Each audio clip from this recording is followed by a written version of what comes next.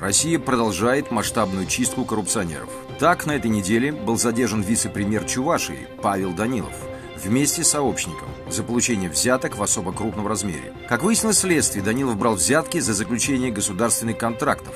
В общей сложности сумма откатов составила более 30 миллионов рублей.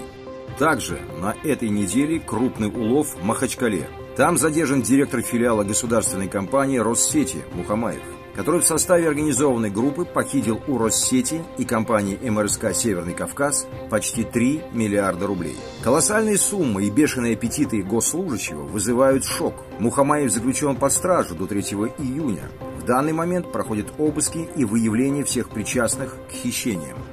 Особое внимание стоит уделить тому, что не только по всей стране проходят зачистки, но и то, что оборотням стали давать ощутимые сроки. Так в Туле оглашен приговор заместителю руководителя Приорского управления Ростехнадзора, который был ранее пойман за взятки общей сложности в 2 миллиона рублей, а сейчас осужден на 8 лет колонии строгого режима с выплатой штрафа.